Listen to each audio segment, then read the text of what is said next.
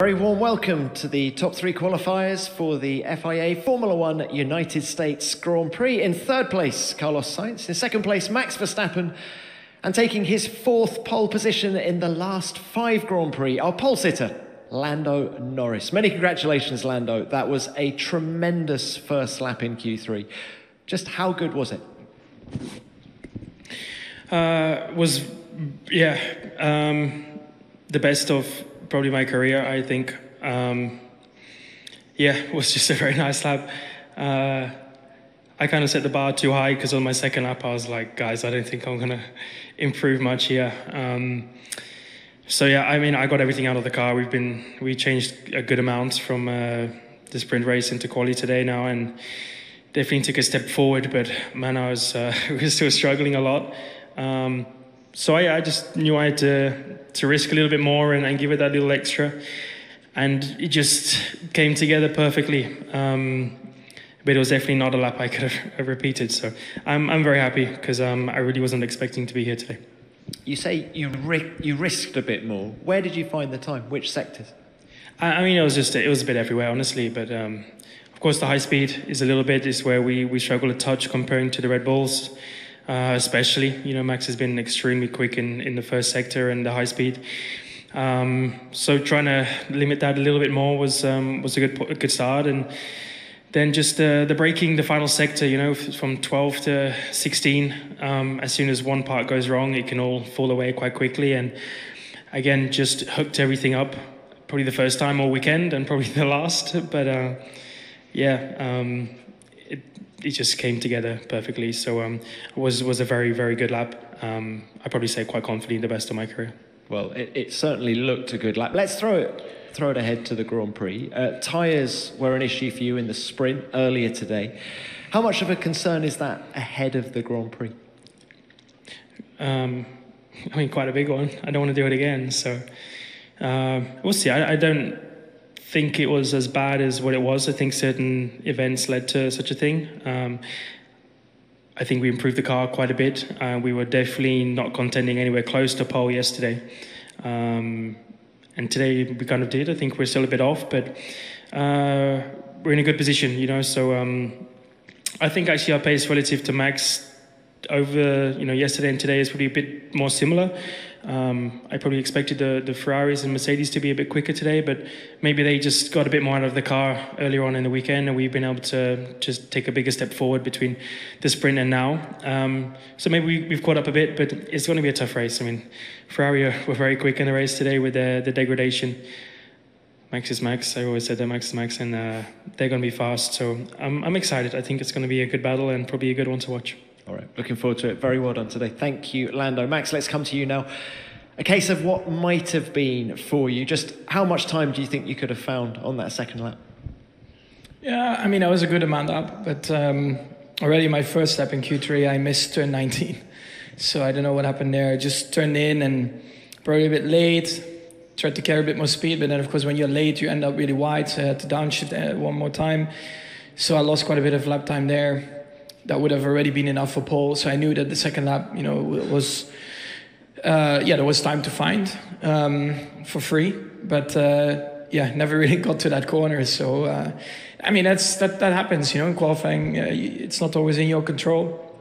I think um, in general, though, for us, this whole weekend so far has been a lot more positive we could uh, at least fight for pole, and um, that has been a while. So, so just to s- summarise, frustrated not to be on pole, but happy with the performance of the car. I'm overall happy. I'm not frustrated. I mean, this just happens in, in qualifying. Mm-hmm. Let's throw it forward to the race then. This is the same front row as we had in Singapore last time out, but are you feeling a lot more confident ahead of the race? I mean, I felt quite decent today. Uh, we made a few changes on the car, and hopefully that will help again for the race. Um, and then hopefully we can try and do the same.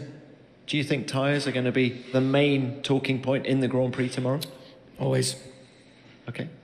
Max, thank you for that. Uh, Carlos, let's come to you. Uh, seems like your second Q3 lap was cut short for you as well. A case of what might have been? Uh, yeah, definitely, obviously.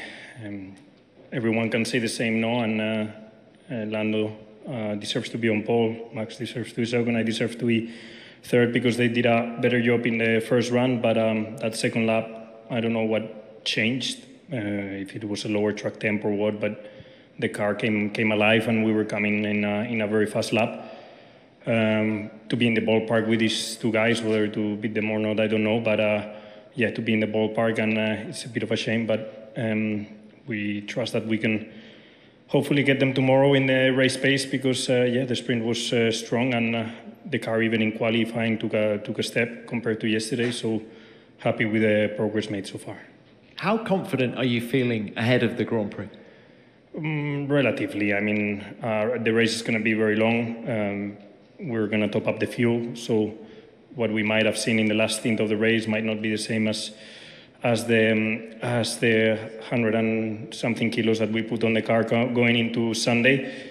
But one good thing is that we, we had a, a good reference from the sprint. Uh, obviously, these guys haven't stood still, and they would have improved that from graining that uh, a lot of people were struggling with in, in the sprint. And I think the the field is going to be very close tomorrow, and it should be a an exciting race between a few cars. All right, we're looking forward to it. Thank you for that. Let's now open this to the floor. Name and publication as ever, please. Who's first? Alex.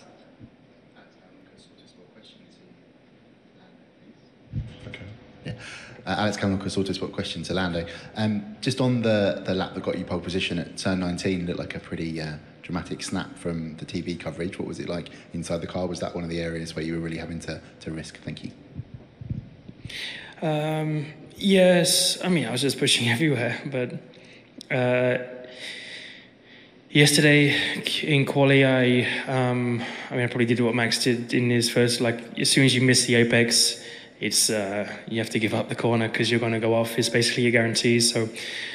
Um, it's a hard one to get right. You have to time it perfectly. Turn in too early, hit the curb. Too late, you miss it, and you're off. Um, uh, but it's a corner again where, in general, we've been a bit down to, to Red Bull. Red Bull are very quick in these these faster corners, and as one I just had to risk that little bit more, and was was close, was on the edge. Um, but it's what I needed today. Uh, quite simple. I think the gap was 0.03, I think, to max, um, and without some of these little bits where uh, maybe some people didn't use all of the track on that kind of thing. Today I, I had to and I needed to, and um, and it got me pole. So uh, my uh, my performance engineer will be very happy with me. Thanks, Lando. All right, next one. Uh, Tim Hauraney, TSN. Question for Max. Max, you've looked strong here all weekend long. Like Lando had mentioned, you know the car looks good in the fast stuff as well. Um, where has the car improved the most since Singapore? Uh, I mean, first of all, Singapore has never been a good track for us. All the low speed and uh, corners and, and the bumps. Our car just doesn't really work on that. So it's a very different uh, track layout. Plus, I think we made the car uh, more stable. Uh, so you can attack corners a bit better. And that then also helps, I think, the tires out a bit. So um, I think that has been the, the main improvement. Thanks, Max. All right, Luke. Uh, Luke Smith from The Athletic. Lando, just before your um, first lap in Q3, Will was on the radio. Uh, I gave you a message to trust the car. Was it just about finding that little extra bit of confidence? And it's quite rare to hear him coming on the radio like that before a lap to G you up. Yeah, that's uh, it's a very rare thing. He knows I don't like that kind of stuff normally, so uh, it's just because I I said after I think Q2 just, i was I was just not confident at all in the car. was was bouncing everywhere, and I just I lacked confidence at that point to, to put a good lap together. And um, been struggling in turn one, been struggling in turn twelve. Um, but we, we were there or thereabouts. So it was more just uh, let's get a good lap in and and be there. Um, so that's what I did. Whether or not what I did was because of Will's comments, I'd probably say no. Otherwise, I'll boost his ego too much. But um, uh, yeah, it was just I probably needed it a little bit just because I was struggling a lot with the car and we've been a bit off this weekend, and I just a little little kick never hurts sometimes. Thanks, Lando. All right, another one. Andrew Benson, BBC Sport. Lando, you said you've not got had the pace of the Ferraris and Red Bulls this weekend. You've been so quick for so long. Why do you think that is then this weekend? Uh, it's a good question. Um, I don't have an easy answer, honestly, for it. Um, um, people would probably hate me for saying it, but I, I, don't think we've definitely had the best car for, for several races and, and quite a few races this year over the last you know two three months, um, but definitely not every race. Um, Singapore was, you know, I think we can say quite confidently we were we were the uh, best. Um, Baku, j- just the race before that, uh, I think um, even Oscar won, I think he'd won because he drove better than the others, and I think Red Bull and Ferrari were both quicker once again. So.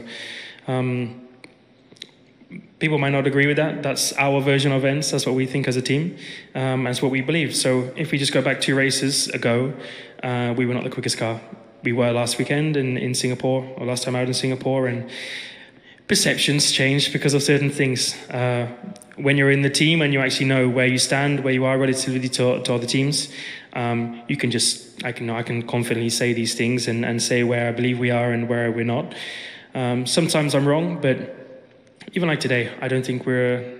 My lap was very good. Um, I could not have gone one and a half tenths quicker, or um, probably gone any quicker than the lap I did today, which shows we were not as fast. But um, exactly knowing where we're struggling a bit more is is tough. Um, there's different reasons. A bit of the the bottoming and the ride in the high speed. That's where we struggle comparing to the Red Bulls. Um, and comparing to the Ferraris, the, the slow speed um, is is incredible. And I think for even if we go back to Singapore, where we we dominated, Ferrari were very quick the whole weekend until qualifying. They made some mistakes. Um, I think this, this, the final stint, Charles was the quickest car on the track on the hard tire. So it's just you need to know information um, before you can make certain comments. And I think it's just been very close and closer than people think, even though we've dominated a few weekends. And this is one where we've just we're just not quite as quick, and maybe the others have taken a couple of steps forward, and it's a little bit different. Um, I don't have the exact answer. I'm just driving the car, and, but this is my feeling and, and kind of our feeling as a team.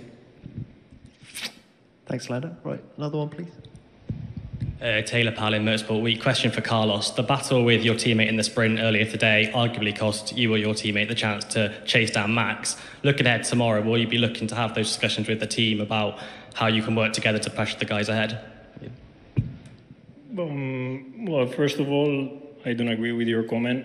Um, I think it's a sprint, and I think everyone races hard from the beginning to the end. Um, and regarding the second one, obviously, yes, the the race is a, the the main race is a much longer race, where I think everyone tends to play a bit the longer game with tire management and and everything, and everyone applies all the lessons learned from the sprint, so everyone knows how to manage the tires better, where to manage them, etc. No, so uh, yeah, it will be a matter of uh, putting ourselves in the position to to try and win again and again, like everything else, it's a lot is dictated by the by the start, by the first lap, and you never know where you're gonna end there. So you cannot go into a race with a super clear plan in your head because normally that plan after one corner is completely um, changes completely because of of that start of or that turn one. No? So let's see. Uh, I'm confident that the, if we do a good job together, for sure we can fight with these two guys. Whether we can beat them